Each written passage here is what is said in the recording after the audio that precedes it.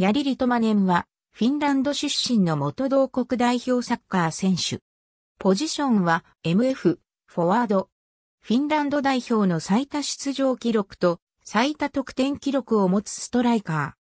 ー。15歳まではアイスホッケーにも才能を発揮していたが、以降サッカーに1000年、1987年、父も所属していた地元のクラブであるレーパスラハティでキャリアをスタート。1989年にはフィンランド代表に招集され、10月22日のトリニダード・トバゴ戦でデビューを飾る。1990年にはフィンランド年間最優秀選手に選出された。その後フィンランドのクラブチームを転々とし、1992年、アヤックスの2週間の練習に参加し、ファンファールの目に留まり、アヤックス入り。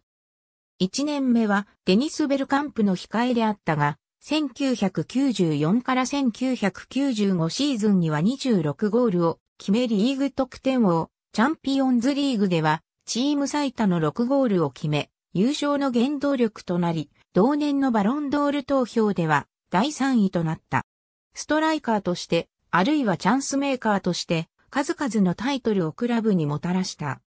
1999年にリーガ・エスパニョーラの強豪 FC バルセロナへと移籍するが結果を残せず、1シーズンで去ることとなった。バルセロナへは、当時のルイ・ファン・ハール監督の肝入りで入団し、背番号10を与えられたものの、3トップのさらに下のポジションを任されたため、自ら最前線へ飛び出して、ゴールに絡むプレーが特徴のリトマネンは全くフィットしなかった。さらに悪いことに、この頃のバルサは、ファンハールのオランダ人変調志向への批判が強く、本人はオランダ人ではないものの、アヤックスからの移籍となったリトマネンは、その批判の矢面に立たされることとなり、マスコミやバルセロニスタからリーグ3連覇を逃した戦犯のような扱いを受けた。そして、子供の頃からの憧れと公言していた FA プレミアリーグのリバプール FC へ移籍。しかし、ここでも故障や選手層の厚さなどで出場機会に恵まれず、2002年にアヤックスへ復帰。その後、母国の FC ラハティ、ハンザ、ロストックを経て、スウェーデンのマルメ FF に2007年まで在籍した。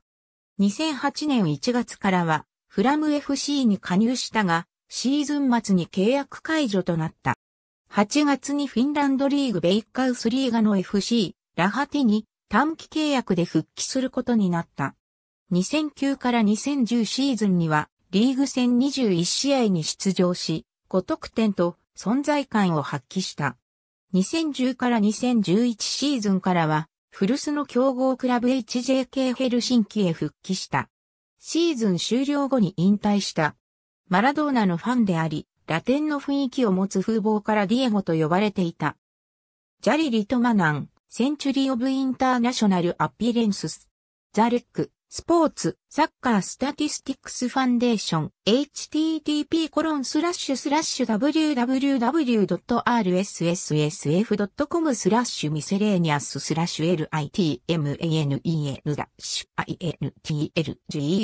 intlge.html ハット ABCDEFGHIJKL トヨタカップ1995第16回大会パンフレット P23 バルーン DORWINNERS-LIVEABOUT.com ありがとうございます。